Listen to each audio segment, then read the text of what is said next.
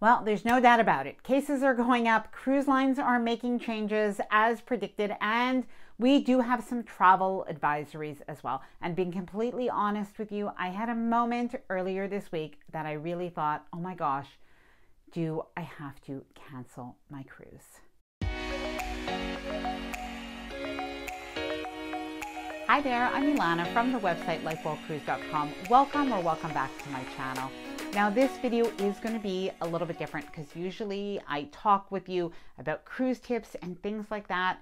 And I prefer those types of videos, but in this video, I do really have to talk a little bit of a recap of some of the news that's been going on that might affect your cruise. That's definitely affecting my travel plans. And really, I'm going to speak to you kind of from the heart because we really have had a bit of a difficult week leading up to our cruise and we had some difficult decisions to make. Now before I get started, of course, I do want to mention that if you like this video, if you find it helpful, informative, or enjoyable in any way, then please do give the video a big thumbs up. I really do appreciate it. And of course, please subscribe to the channel if you haven't done so already.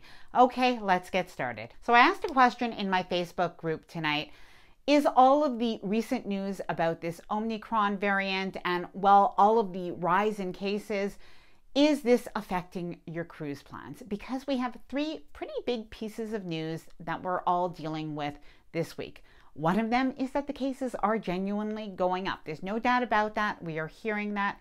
Number two, we do have a point now that cruise lines, some of them have started to change some of their protocols and make them stricter. So we do have a Royal Caribbean, we have Norwegian Cruise Line that have implemented a rule right now that people do need to wear masks when they are indoors. And the biggest change really is for Norwegian Cruise Line because they had advertised on their website that they were really a mask free cruise because they were a fully vaccinated cruise. And Royal Caribbean, it's a little bit different because you did have some areas that you needed to mask, other areas you didn't have to mask if you were vaccinated. But for right now, they do have that they've had to sort of change that policy, be a little bit stricter, be a little bit more careful, and implement um, that people do need to wear masks when they are indoors. And three, this is a big one for many people, myself included Canada on December 15th issued a travel advisory against really, I guess, all forms of travel.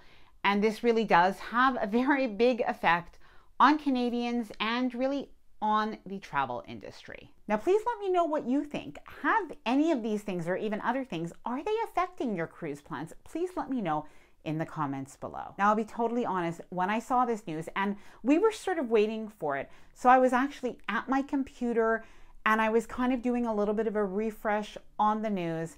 And then when I saw it, I was really livid.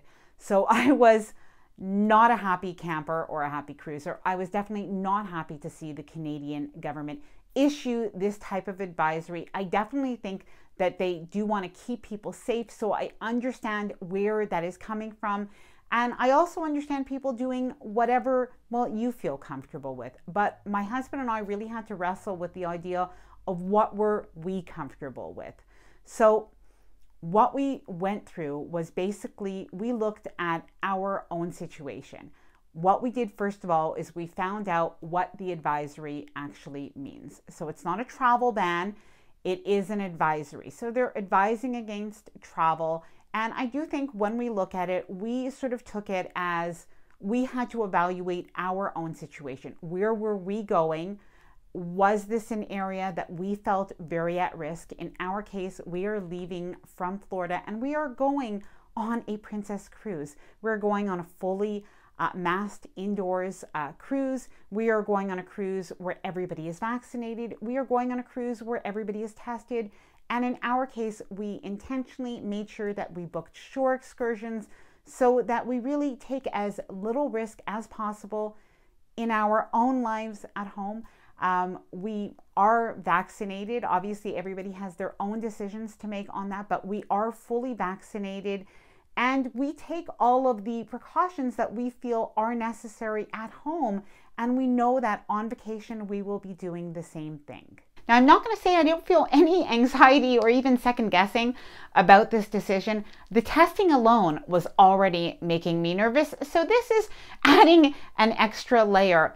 but really, when we thought about it, we thought about the fact that the Canadian government had uh, a travel advisory in effect for approximately 18 months until they finally lifted that travel advisory about eight weeks ago. So we really did evaluate sort of our own situation. My own parents are in Florida. I'm also looking forward to seeing them. Now, of course, I'm not saying this is the right decision for everybody. And I think really right now that we all have to evaluate for ourselves based on our own situations uh, what we are comfortable with. But as of right now, we are going to be going on our sailing. It's on December 29th, the New Year's cruise on the Regal Princess. We are really looking forward to it. If you do see me on board, if you're on that cruise, do say hi.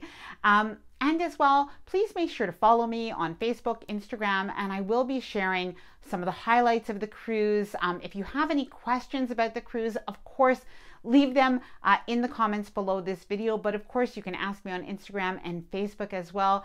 And I may even try to do a live when I'm on board. We will see how that medallion net is. So let me know what you think. Did I make the right decision? Would you have made that decision? Would you have done something different? And please let me know about your own cruise, how this is affecting you as well. Now, I have two favors to ask you. One, please cross your fingers for me or say some prayers for me. And two, if you enjoyed this video in any way, then please do give the video a big thumbs up. I really do appreciate it. And of course, please subscribe to the channel if you haven't done so already. Bye for now and happy cruising.